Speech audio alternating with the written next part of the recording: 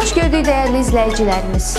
Hər bazar olduğu kimi bu gün də qonaqlarımız çox maraqlıdır. Əgər bazar günlərini maraqlı keçirmək istəyirsinizsə, o zaman bizi izləyin. Bu dəfə də Talk Show-nun qonağı olan İntiqam Kərimov baxaq görək nələrdən danışdı və nələrdən narazı oldu. Arxa fon deyəndə ki, mən özüm çox da arxadır. Prosta mən show biznes, o bazara soxulmaq istəmirəm heç vaxt. Çünki mən toy müğənnisi deyiləm əslində. Toy oxumağı da sevmirəm. İstəmirəm ki, kimsə stolun arxasından durub barmaqlarını belə eləyə mənim üstümə gəlsin ki, mənə bunu oxu. Yəni tam başqa e, xəsiyyətdə böyümüş bir insanam. Ona görə də e, mağazin proqramlarını heç vaxt sevməmişəm. İntiqam Kərimovun adını eşidəndə nədənsə dəniz küləklə oynamamağınız yada düşür. Görəsən ay İntiqam bəy, dəniz küləklə oynayır? Bakı əgər bilsəz küləklər şəhəridir. Bunu yazanlar da, Səlim Həqqi də, Mikail Vəkilov da düzgün fikirləşiblər. Mən bu mahnını ilk dəfə 86-cı ildə oxumuşam. Mən Voronoj Dövlət Filarmoniyasının solisti idim, oradan gəldim Azərbaycana 4 il işləyəndən sonra ilk Azərbaycan televiziyasında oxuduğum mahnı bu olub. Ondan sonra Rəna mahnısını oxumuşam, sonra Neynəyim, sonra Gözlərin, Tofiq Babayım, Dünya bizim olmayacaq və bir-birinin dalınca mahnılar gəldi. Sevda İskəndərovanın mahnılarını oxudum. Gövhər Həsənzadənin mahnılarını oxudum. O vaxt təzə ilk, yəni Gövhər Həsənzadənin yazdığı ilk mahnıları birinci kurs tələbəsi idi konservatoriyada. Mən oxumuşam. Azərbaycan, gilə-gilə, e, sonra birdən telefon, hə, ilk mahnısı lap telefondur. Belə bir mahnı yazmışdı. Çox cavan idi, 17-18 yaşında. Ayrılanda söylədin, 11-də zəng vuraram, 12-yə az qalıb, qalmadı səbir aram. Belə bir mahnısı var idi, Gövhər Həsənzadənin. Yəni, belə də yaradıcılığımla məşğul gəlirəm həmişə. Heç vaxt e, sınmamışam, heç vaxt bu işdən geri durmamışam. Yəni mən o o birisi stilə keçsəydim, yəqin ki, bu saat indikindən çox-çox imkanlı idim, çox-çox şeylərim vardı, amma bunun dalınca getmədim. Bir çox tamaşalarda aktyor kimi fəaliyyət göstərən İntiqam Kərimov görəsən aktyormu, yoxsa müğənni kimi tanınır? Yox, aktyor kimi tanınmaq deyəndə Tamaşada oynayırsansa aktyorluğun olmalıdır. Amma mən müğənni olmuşam. Aleko operasında Gənc Qaraçını oxumuşam, Raxmaninovun. Sevil operasında Balaşı oxumuşam, operin studiyada. E, Tayni Bırakda e, Paulina'nı oxumuşam. E, e, sonra Arşın Malanda Əskəri də Vəlini oxumuşam, oynamışam. Musiqi Komediya Teatrında Laçı obrazını yaratmışam. E, Çıqan Premierdə. Yəni orada mütləq aktyorluq lazımdır, amma mən əslində müğənniyəm. Hətta bir iki dənə filmdə də epizodlarda çəkilmişəm. Yəni rol vermişlər, qəşəng rol vermişlər. Getmədim, gördüm, çatdıra bilmirəm. Yəni getsəm ora mənim yadıma gəlir e, xüsusi təyinatlı filmində Natik Novruzov mənə vermişdi. E, könüllülərin komandiri rolunu. Bir gün səhər getdim 8-dən gecə 12-yə kimi çəkilişdə oldum. Sonra gördüm mənim evdə dərslərim var universitetdə dərslərim var, çatdıra bilmirəm, alınmıram, getmədim çəkilişə. Sonra bir də e, bizim hörmətli operatorumuz gelin çəkildiyi bir filmdə qaynata rolunu oynadım. Bir gün getdim orada.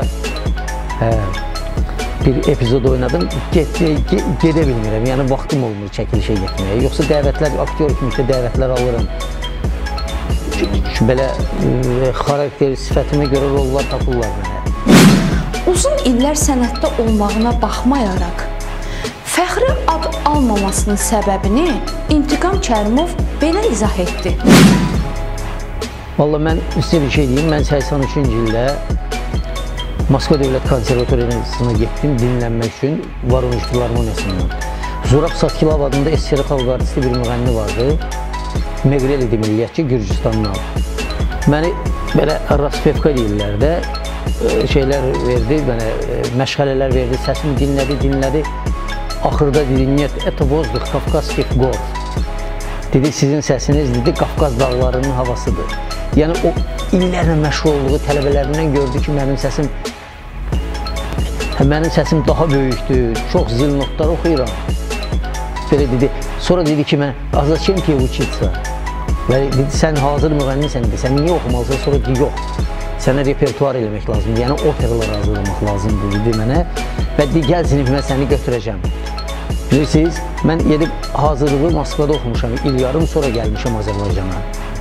Azərbaycan Dövlət Konservatoriyasına məni rəhmətlik Zakir Bağırov vardı, mədəniyyət naziri. O məni Moskvada VDNX-da konsertdə dil eşitdi və dəvət elədi ki, sən milli kadrsan, gəl Azərbaycana və mən Azərbaycana ilə gəldim, yoxsa mən Rusiyada qalacaqdım.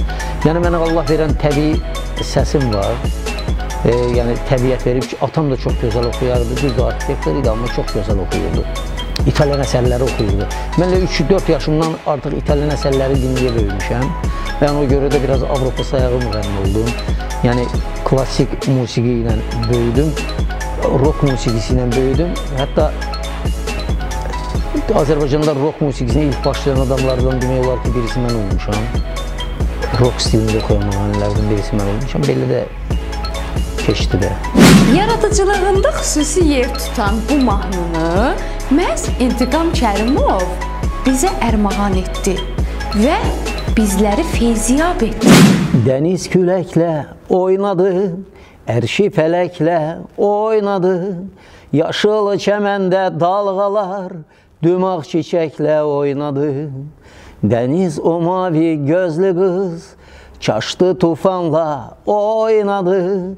Ürəklə canla oynadı Coşdu içindən qaynadı Səndə tufanla oynama Səndə tufanla oynama. Deniz kimi coşma gülüm ay gülüm. Coşup içinden kaynama Coşup içinden kaynama Çok değil bizim ömrün illeri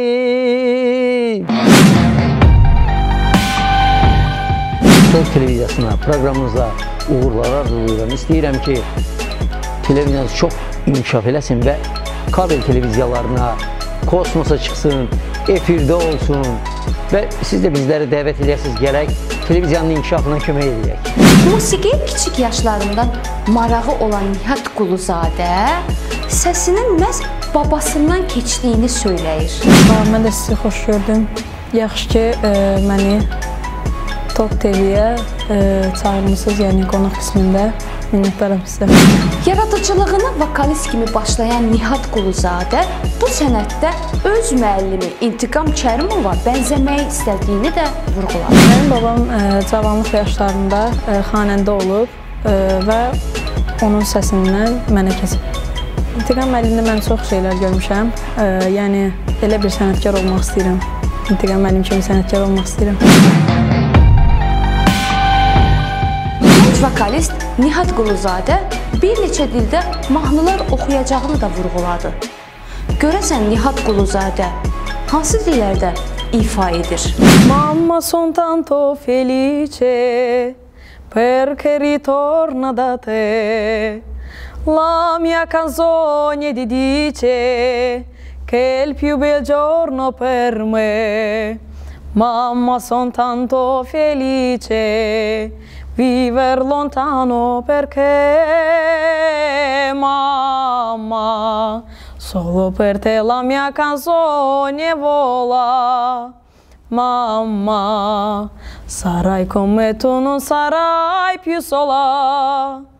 Quanto ti voglio bene Queste parole d'amore Che ti sospiri il mio cuore Forse non susana più, mamma, ma la canzone mia più bella sei tu.